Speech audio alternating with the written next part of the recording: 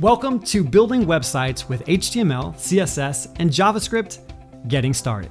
This course is special because it takes you on a journey that assumes you're starting from the very beginning when it comes to building websites.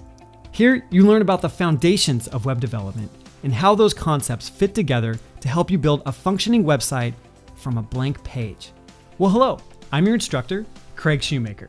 And in this course, you learn how HTML is the structure for a website's content, that CSS or cascading style sheets are used to craft the look and feel of a website, and the very basics of computer programming and how to use JavaScript to add behavior and interactivity to your website.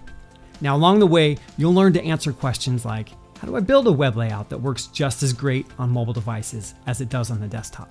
How do I collect user data for processing? And how do I read the location of a visitor that comes to my website? And honestly, the list goes on and on.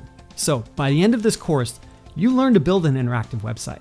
But more than that, you have the understanding of the basics of programming and how each piece of the web development puzzle fits together. So you can move forward on your journey to becoming a professional developer.